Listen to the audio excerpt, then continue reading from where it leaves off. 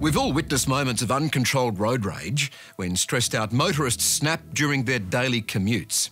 Now, psychologists are witnessing the rise of a new, even more startling phenomenon.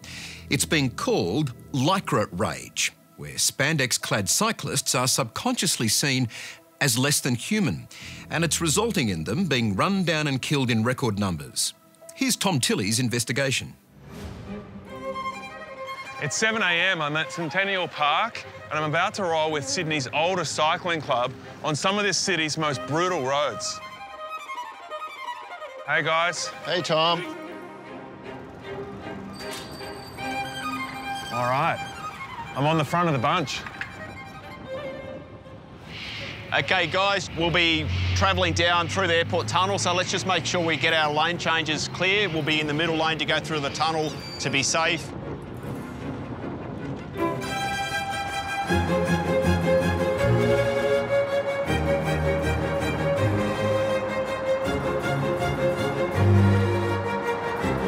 Have a look at this. Does this make you scared for the cyclists or angry that they're there? It's not the most leisurely place for a ride, Shane. Dangerous for cycling. Oh, here we go. Like in a Commodore back there. Yep. Not too happy. He's not too happy. That's the way it is. Nothing we can do about it, you know. Here he goes. Oh, that didn't feel good. Cars and cyclists have never been a great mix. The hatred is real, and no greater hatred than for cyclists wearing lycra. People talk about how many points can you get for running them over. Derryn Hinch called them famously cockroaches on wheels. All right, and those are just the words, not the actions.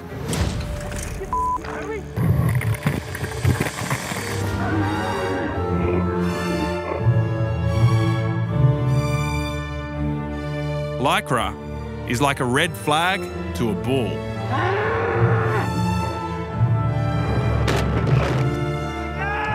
So the lycra can trigger a different reaction. Absolutely. Does that concern you?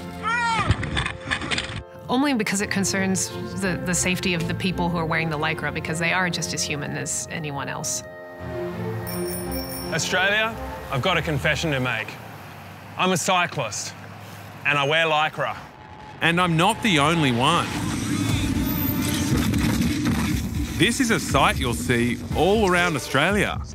But something about what we wear puts a target on our back. Aaron! To be blunt, when we're on the road, too many of you want to run us down. And I'm on a mission to find out why.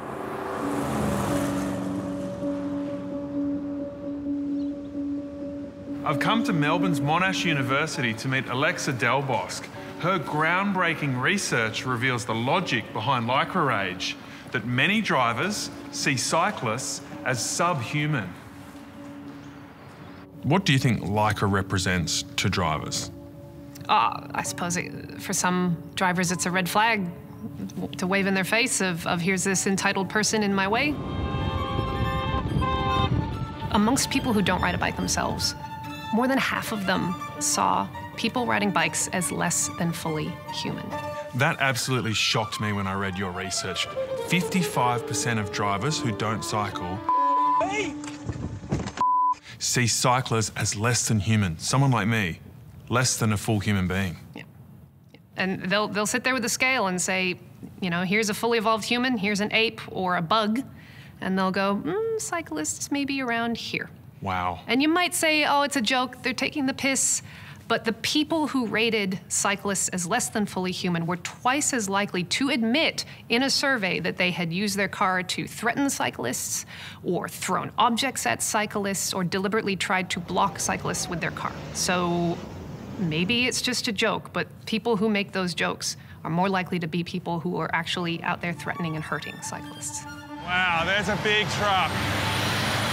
Okay. You feel it suck in the air. And what is it about lycra in particular that really flares people's tempers? I think it's because that's the stereotype of what a cyclist is in Australia. It's still not mainstream enough for people to necessarily know other people who ride their bike every day. Uh, what we see on the roads more often is middle-aged man in lycra with a helmet, hunched over, racing fast, and in the space that people think belongs to cars. And that's where the conflict really comes from. They're in my way.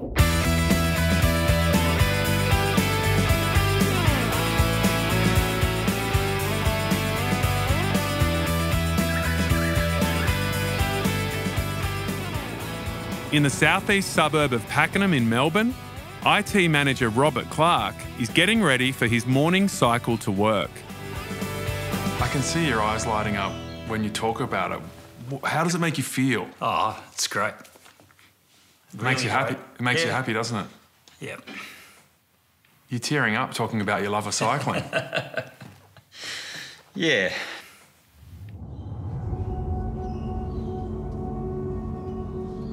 Cycling is his life. But less than three months ago, it was almost the death of him.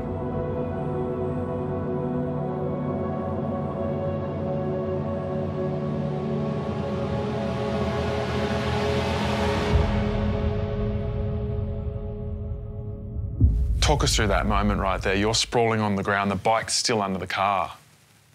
Yeah.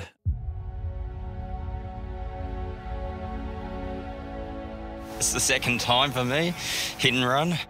The thing about this street that just blows my mind is that it's not a busy road. There's not anything holding this driver up. Hmm. They've deliberately stopped, let you go past, and then run straight over you. Hmm. Oh my God. I could just see things flashing past me as I'm tumbling. And then I stopped. And it was just this realization I'm still here. The owner of the car handed herself in the next day, but she still hasn't been charged. Do you think they saw you as a human being?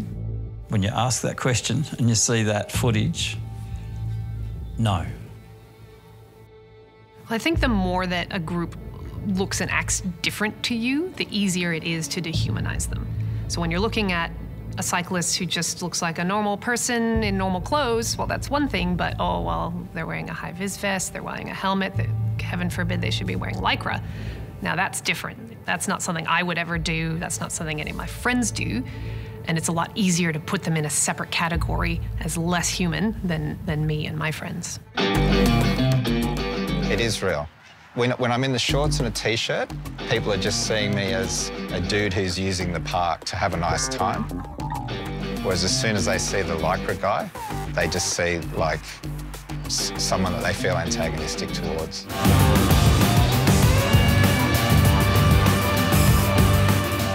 So, what do you think when you see them? What goes through your head? I just think stupidity comes to mind, but it's more arrogance. Queensland truckie Craig Munyard has been driving trucks for 40 years, and he's hated cyclists for every single one of them. And he lets them know every chance he gets. Right, so you give them a big beep in the truck. Yeah, yeah, I'll go, do that, like that, just to scare the crap out of them. Say, What sort of reaction do you get? some go, F off, mate. Right, and does that escalate? No, no, I just thought, oh, oh, you've been told. That's it. So it's the big groups of cyclists that you find most frustrating. They ride in tandem, sort of thing. So they're taking up twice the space, and um, means cars got to go into oncoming traffic in single lane roads uh, to get it sorted, basically. So um, uh, to get around them, which could cause incidents at high speed with the vehicles. Craig's argument is that selfish cyclists can bring it upon themselves. But Professor Delbosc's study found drivers are often equally at fault. Hostility that can quickly escalate. I can't see you at all. open your eyes. One in 10 drivers admitted to deliberately cutting off a cyclist.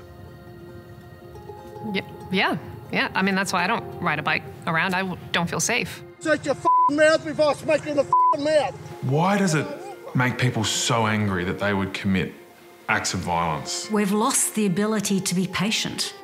You know, you're going to get there two minutes later if you just go slow and, you know, let the cyclist pass.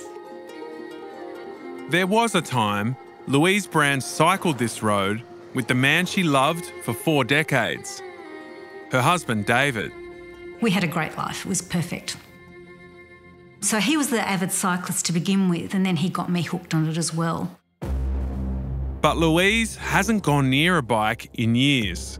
Not since David encountered a vengeful motorist on this very spot in 2018.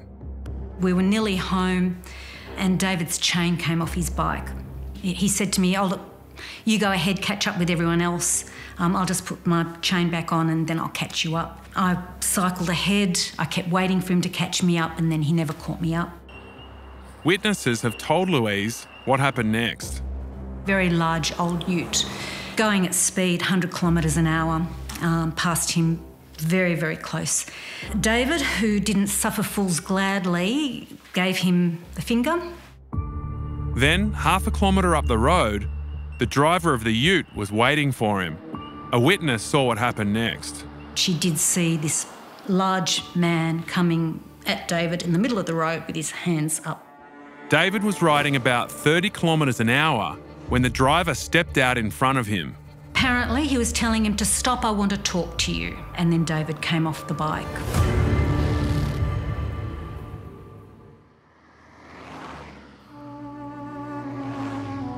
David's on the ground with massive head injuries, and this man had only a scratch on his leg.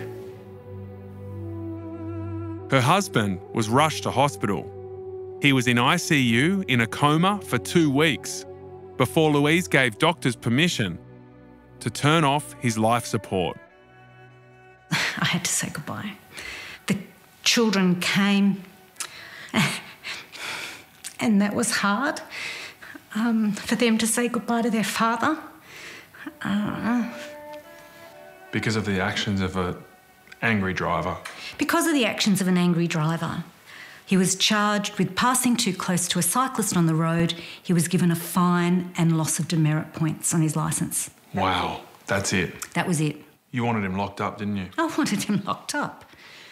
Are there people in this town that are open about hating cyclists?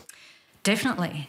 There were people on anti cycling Facebook groups. Yes. Cheering at the death of your husband. Yes, yes. That's sick. Yes, yes.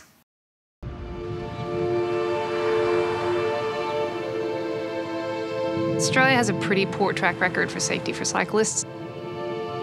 I think there's a perfect storm.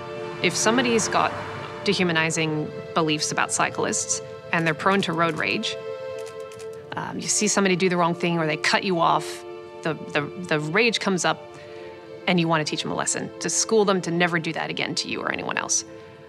But it's particularly dangerous when it's against a cyclist. And it's not just Australia. In the UK, the Lycra wars have waged for years. You want to go, do you?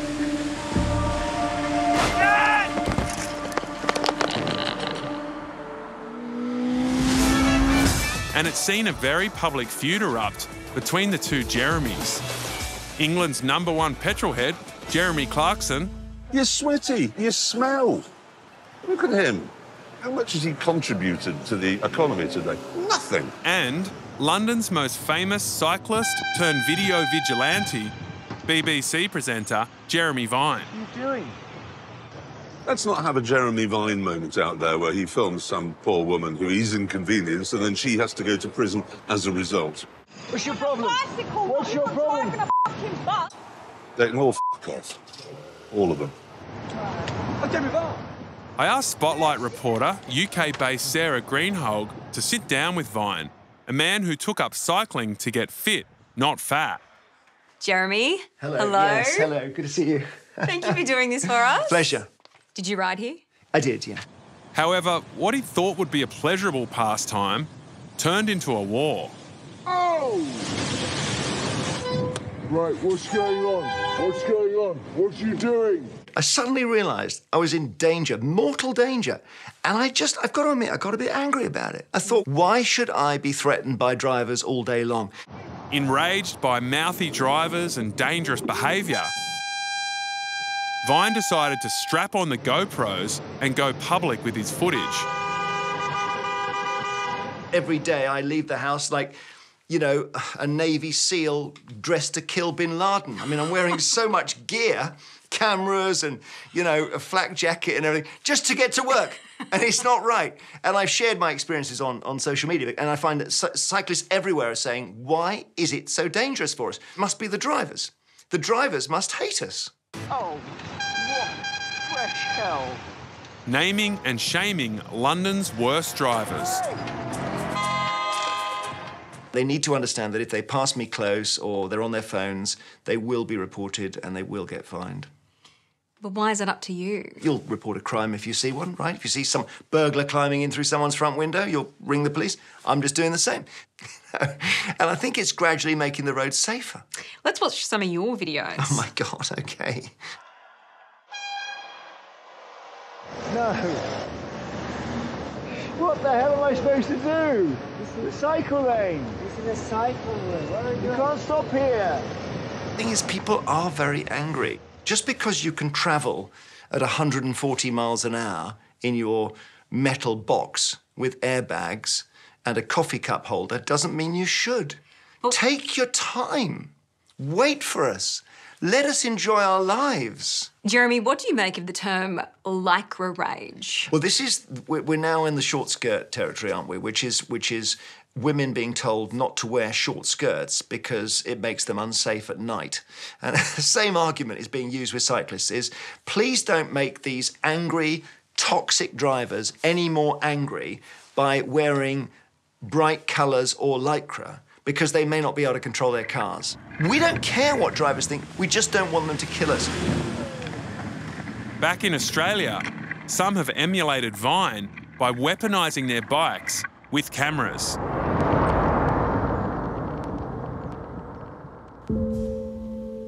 Cameron Frewer had two passions his family and cycling. So, what was your most favourite part about riding with Dad? We have to go on the pavement. Um, just being together as a family. You know, they, they do still think of their dad. Um, and riding was such a passion for Cameron.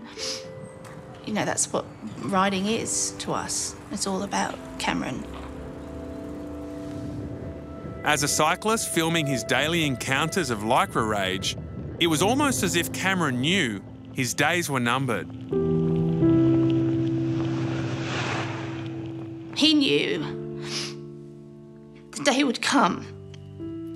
He always said it's not a, a matter of if, it will be when.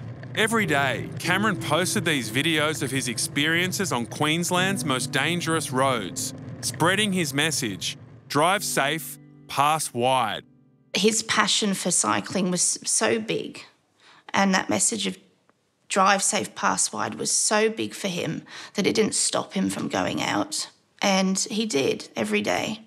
He was he feared for his life.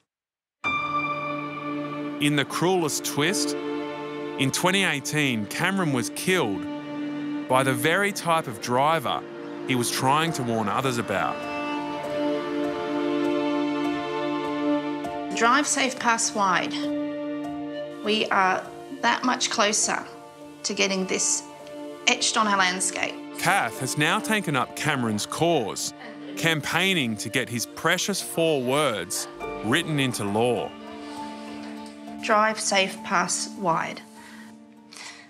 This is what Cam's dream was, I guess, to make the world a. Sorry.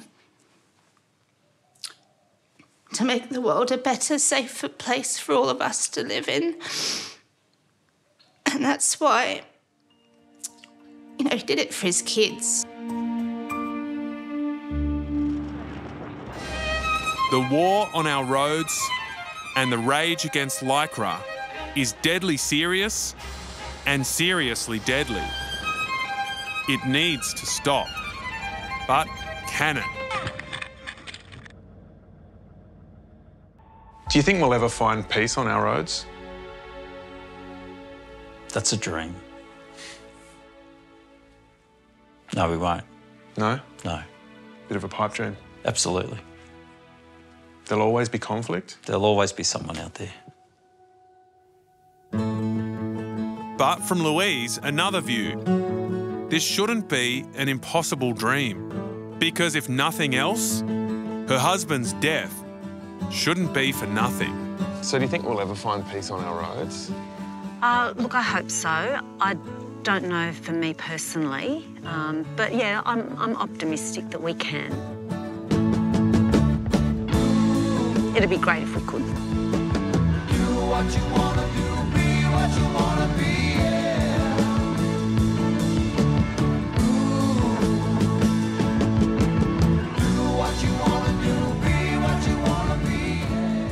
Will be an agent for change.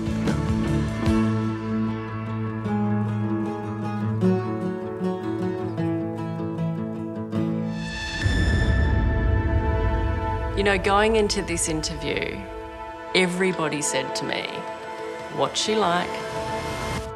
And do you think she did it?